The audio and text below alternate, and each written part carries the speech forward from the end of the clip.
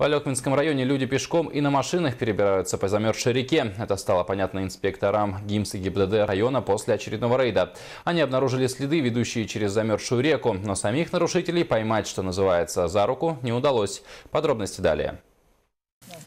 Стандартная процедура. Контроль по движению автотранспорта вдоль реки на самом деле имеет большое значение.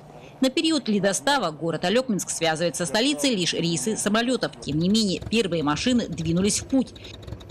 6 ноября на пульт диспетчера ЕДДС поступила, поступала информация о том, что на малой речке Намана провалилась легковая автомашина.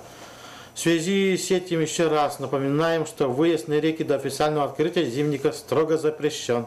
Несмотря на то, что дорога идет вдоль береговой линии, местами путь преграждают малые реки, где лед только-только начал формироваться.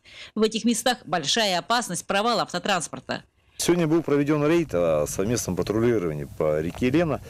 Э, были осмотрены места массовых людей, были проверены ВСТО, газопровод, тоже где у нас э, село Солянка, где возможны могут выходы быть выезда автотранспортных средств на лед.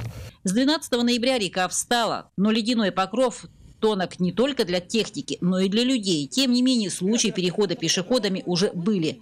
Совместный рейд на этот день не выявил нарушений, но многочисленные следы от колес убедительно свидетельствуют, выезды были.